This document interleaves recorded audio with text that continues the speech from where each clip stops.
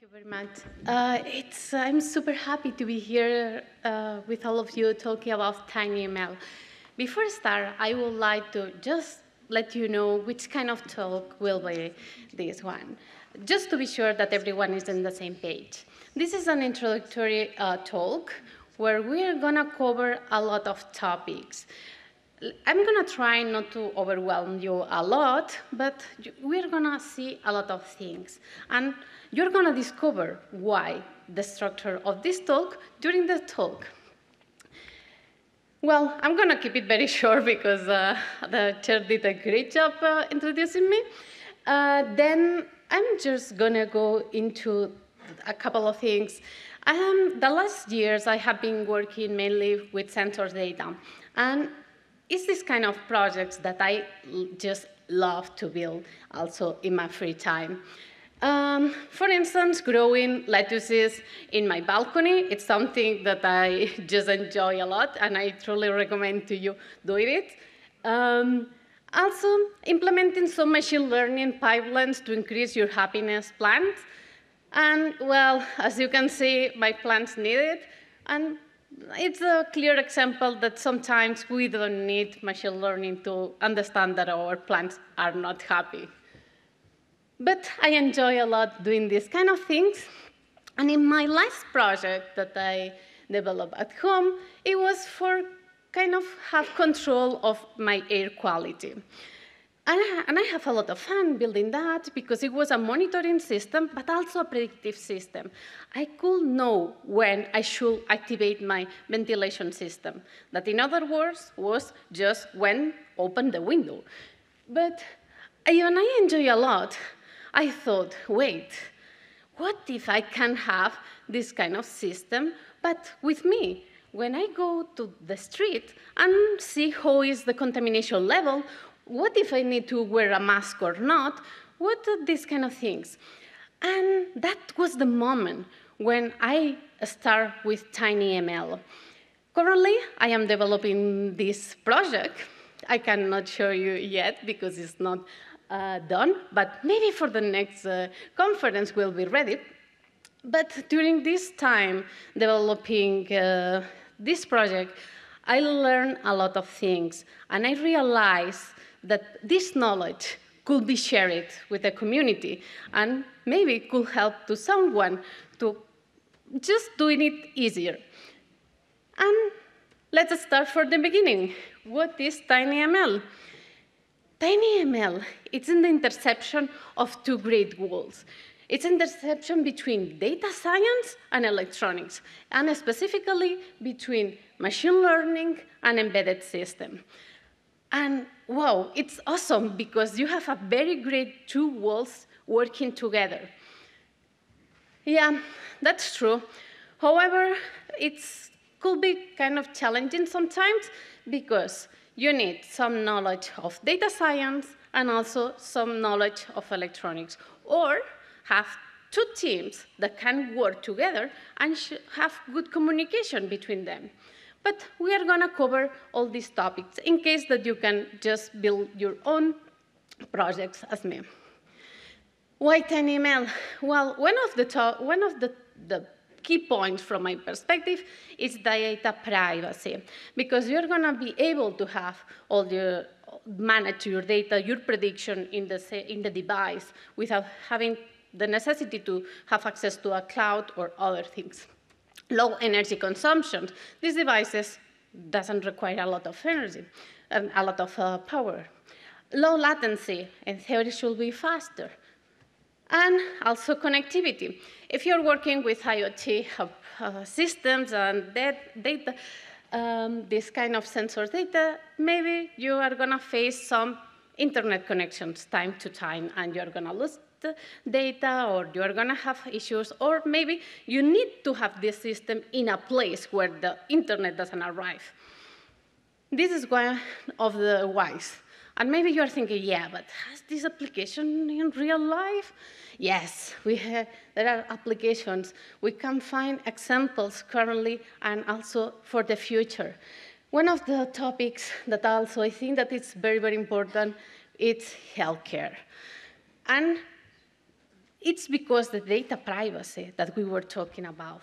If you have a device that track your own information and can keep this data privacy, maybe it's a good uh, way to make things. Uh, of course, uh, this is only an example uh, publication, but there are many of them that we can discuss later on. Also, agriculture. And maybe you're thinking, why agriculture is key? Well, not everywhere arrive internet, not everyone have access to internet either, and has the ability to have a device or even in the mobile, uh, some models for predicting pests, predicting what can ha happen to your plant could help to the farmers around the world. Also, smarter spaces. It's important to understand if you have a person in the room or not for security reasons, eh, sometimes in, in some spaces. Then we have more. We have predictive maintenance. This is one of my favorite topics that I'm going to do some mentioning eh, because I have been working for long. Um, and it's because of that, is that you can predict also if something's going to fail in places that maybe the internet connection doesn't arrive. Also, we have well conservation. There are projects that uh, currently we can track elephants in this case, but also there are other with whales. In this case, it's to avoid fur tips and avoid that the, the elephants could be killed. And also we have sound recognition. Maybe it's familiar to you this hey, blah, blah, blah. Or, okay, blah, blah, blah. And something happened. Uh, maybe, oh, sorry, with the sound. And maybe something happened, maybe some uh, sound uh, play. Yeah, some, maybe you're familiar with some of those. This is also uh, an application of something. Then, as we were talking about I, before, um, there are some challenges or things that you need to have in consideration before start this kind of projects. And we are going to start from the embedded system first, from the electronics part. First is the development boards, which one you are going to use, what, uh, what are uh, the, the needs of your project, which more. Of course, this is my bias because it's the boards that I am using currently for developing my, and doing my experiments. And specifically, I am, uh, I am playing around these two. Um, but of course, you can choose the, the board that, uh, that you need or you want. What is important? Understand what are your needs of your project. And then this means that you're going to need to always have in mind what is your data science question and problem. And we are going to see it later with the, in the machine learning part, because it's even it's very cool to see, I'm going to take this board because it's a trending topic. Or maybe it's not the best for your, uh, your business case or your experiments or whatever you want to implement, right? We are going to see later on. But just let you know, I'm super fan of those because also it's super small. I'm not sure if you can see it, but because it's very small, it's uh, the size of my eye, but just to give you my, my two cents of that. What are some of the challenges? The heterogeneity, it's very hard. Um, it's very hard to have some standards and tell you, hey, you need to do ABC for all the boards. And of course, if you are in the electronic world, um, for you will be very easy, but if you came from the data world, it will be more challenging. And of course, the constraints, the constraints that we are gonna find. And this is something very important because when we're developing things in data science, of course, we try to be efficient, we try to optimize. However, we have other kind of challenges in the computing side, for instance, because usually we uh, develop our projects in a computer or in a cloud and kind of happy, we train the models, we have these uh, things, and, but then, in this case, will be much challenging.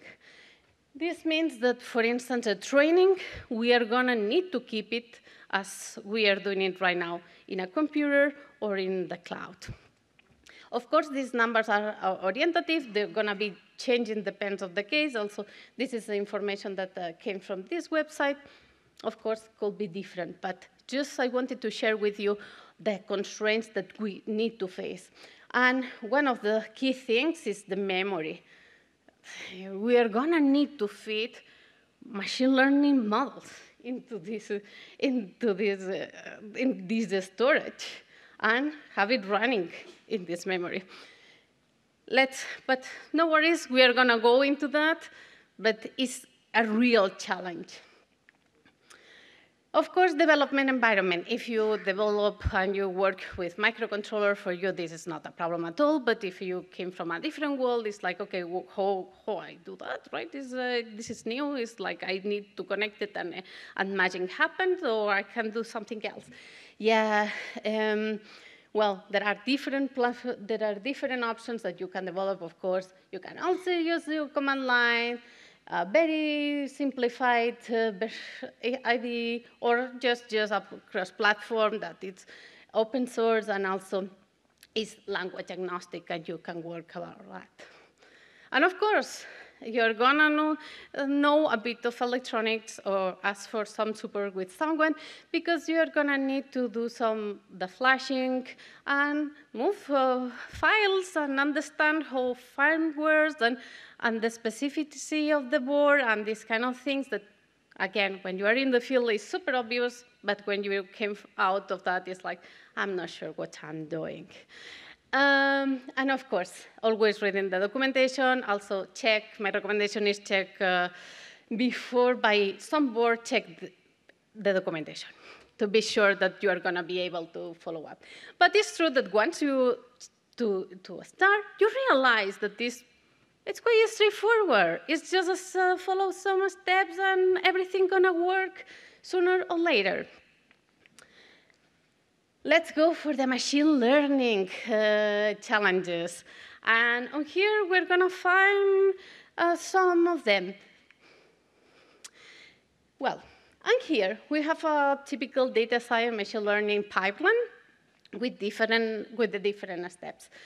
If you are into the data science world, you know that this linearity is not correct because we are going to need to collect the data, process the data, wait, the model is not performing very well, you're going to need back, and then, oh, what about now? I know, wait, I need more data, the data is not very good, and you're going to need to have this iteration in continuous.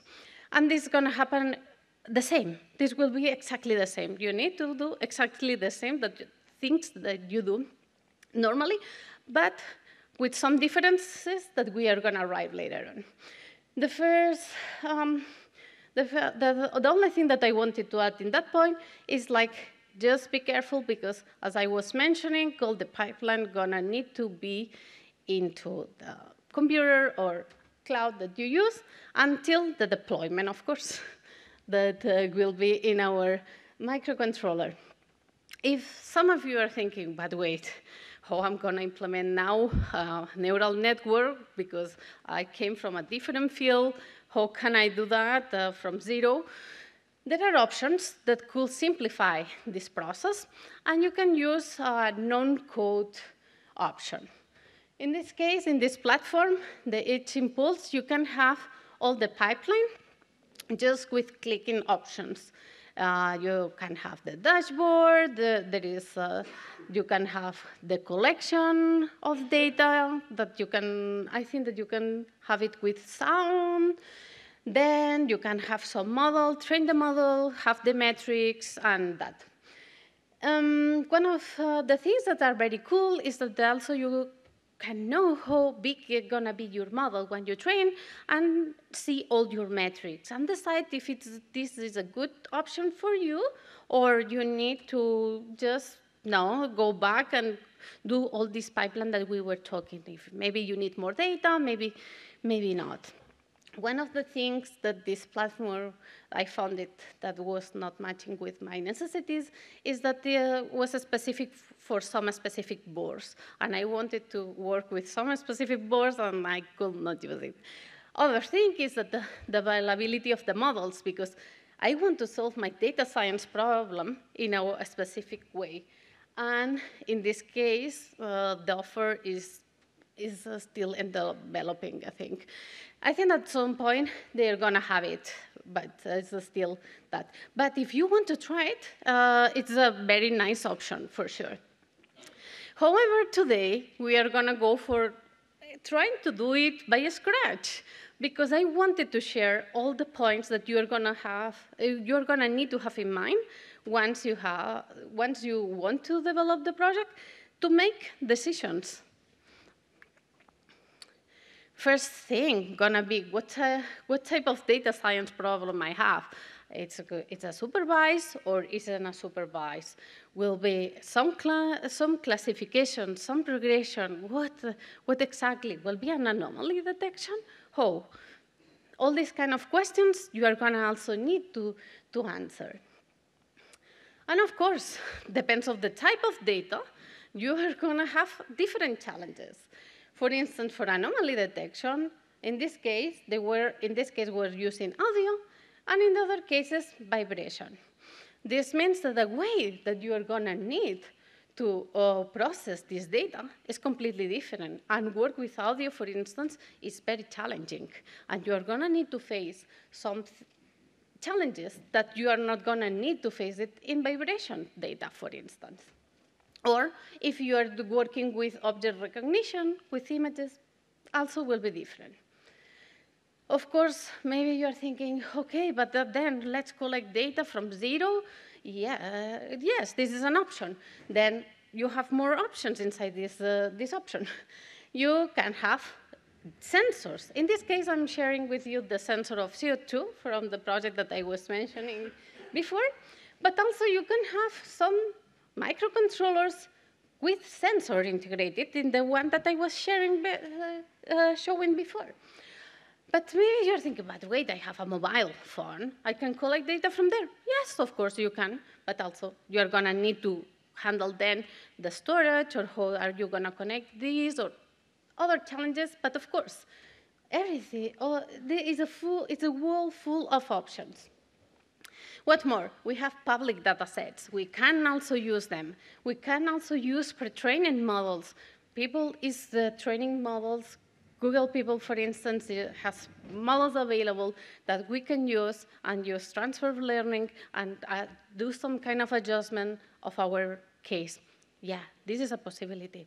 However, you're gonna need also to understand which kind of data and if this is something that works for you.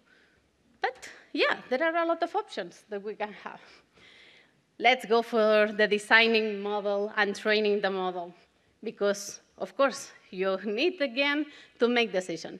Don't be overwhelmed for this uh, slide because it's full of information, but I want just to show you a couple of things that are super, super important to have in consideration uh, before start. Um, let's imagine, for instance, that uh, you have a, a case, a business case that you say, yeah, this, the solution, it's a neural network because I need to implement a neural network. Okay, then you can go to the supported models, and then you need to decide which gonna be the library for the training in your computer or in the cloud. And then you say, okay, let's go for TensorFlow. But then you're gonna also need to check if your microcontroller that we were talking at the beginning is compatible with these uh, libraries. And in the, the framework that we are going to need to use, in this case, for, for TensorFlow, going to be TensorFlow Lite Micro, or for instance, also is compatible with uTensor, depends of the platform that you're using. Then this is quite more complex that we were discussing at the beginning. The, ah, yeah, choose a, a microcontroller that works for you. Yes, works for you, but you need to have very good defined the data science project and how you are going to solve the problem. And as we were mentioning before, as we have also constraints of memory and storage, keep it simple. As simple you can solve your problem, better. But sometimes, you know, you cannot simplify more, and there are problems that needs to be solved with more complexity. But this is my recommendation always. But imagine, for instance, that you are using scikit-learn because it's a library that it's awesome for data science and you want to continue doing your project with scikit-learn. Can I do that, uh, the inference in a microcontroller? Yes, you can. You can use uh, the scikit-learn porter, for instance, or as we were mentioning for TensorFlow, there is other options. Just to mention, that in case of TensorFlow, we have TensorFlow Lite, and then we have TensorFlow mi Micro. In the case of TensorFlow Lite is more for, the, for mobile, and for, for microcontrollers is the Micro, just to give you this small detail. And then imagine you train your neural network because you were, imagine that you were, that you were analyzing uh, this case of detecting if in the room there is a person or there is a cat. Imagine that you are in a building, you are the security member, and you need to know uh, that time to time the alarm sound, and you need to know if it's just a cat or it's a person who is in the building. And you implement a system to, to just have that, and then you implement your neural network, everything is going very smooth, very good in your computer, and you know, sometimes things only work in our computer, and this is a problem. And then we have another point.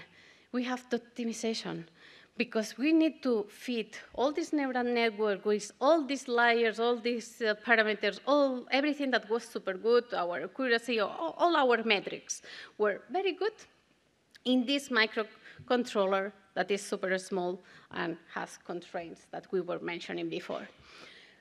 One of the, the most popular options is uh, to use quantification. Even I also added the width planning. In the case of quantification, what we are doing is re reduce the, the precision of the width from 32 bits to 8 bits. And maybe someone has concerns right now, or maybe not, but you should have some concerns, because if we have this size, this information, imagine that this is information from my, one side to another side of my hand, and we reduce it to this with this quantification, we are losing some information. And maybe it's not the most important, but maybe some of this information that we are taking out it was important for our business, uh, for our model. Then what is needed is to check before the deployment. We need to check if the performance of our model when we were training, training it in our computer with everything happy, everyone very, very happy with the success of, of this model is the same after the quantification. And and also, we are to need to think if we are eager to sacrifice a bit of accuracy in terms to have this model smaller. Because maybe if we are going to do this for healthcare, we need to be very careful. Because if we have, a, I don't know, some accuracy that you accept as a good, also once you have this quantification process, you also need to have the same feeling that this is good. Well, the next challenge is the deployment of the model per se, and of course, the, the inference. But the deployment, the physical deployment, as we were mentioning before, should not be a problem once you know how to move one file from one to the, our microcontroller. Then, where is the challenge? In the case of uh, TensorFlow Lite, let's think in this case, the recommended, um, this is from the official documentation, and the, the recommended is convert our model to C array, and then run the inference in C++. Uh, and then it's like, okay, well, um, what now? Because maybe for all of you, write C++ code is something that you are doing every day, but for other people, maybe it's not. And could be a new challenge, right? It's like, okay, now I need to learn C++ to, run the, to write the code. What is very nice excuse to learn a new programming language. Uh, this was very nice uh, motivation for me. However, for some other people, could be something that is a challenge also. And I was wondering, is possible to run the full pipeline with um, with Python? Well, there is the option to extending MicroPython in C. This is from the official documentation. And then what I did is try to find some projects of people who did that before. And I found this uh, person who provides some examples that running TensorFlow with MicroPython. There are only three examples, but it's something that apparently is working for some specific boards also. Then, this is the workflow options that we have currently. We have our training and optimization step with uh, Python, but then the inference needs to be low-level programming languages, or go to the inference with MicroPython that we still um, eh, we are still on that. I think because it's the it's the only case that I found some information. Then the question will be why aren't there more Python options for inference? And this could be a debate uh, perfectly. Do, do you have any idea or comment someone who encouraged to say why could we don't have more pipelines that the inference is in Python? Python is very inefficient. Okay. Uh, any other idea?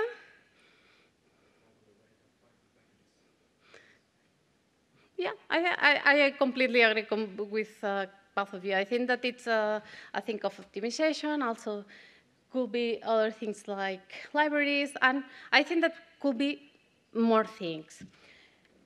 I, sorry, Uy, sorry, sorry. The thing is that this is the perfect opportunity for two things, as I see, I see it.